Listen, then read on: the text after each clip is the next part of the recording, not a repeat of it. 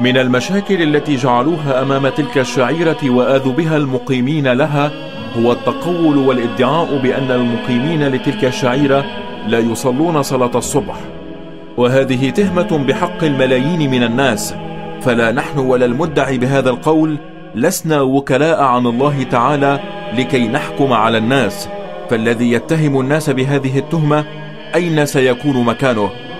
ومن المؤسف حقا أن مدعي هذا القول ممن يسمي نفسه برجل دين. ولا خير في ذلك فإن شمر بن ذي الجوشن كان رجل دين أيضا. وهكذا يزيد ومعاوية فقد كانوا يخطبون بالناس ويعظونهم ويصلون بهم.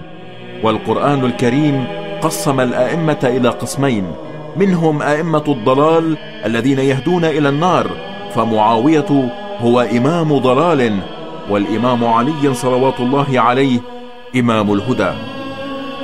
وعلى فرض أن بعض المقيمين لتلك الشعيرة لا يصلون فهل علينا أن نهدم تلك الشعيرة؟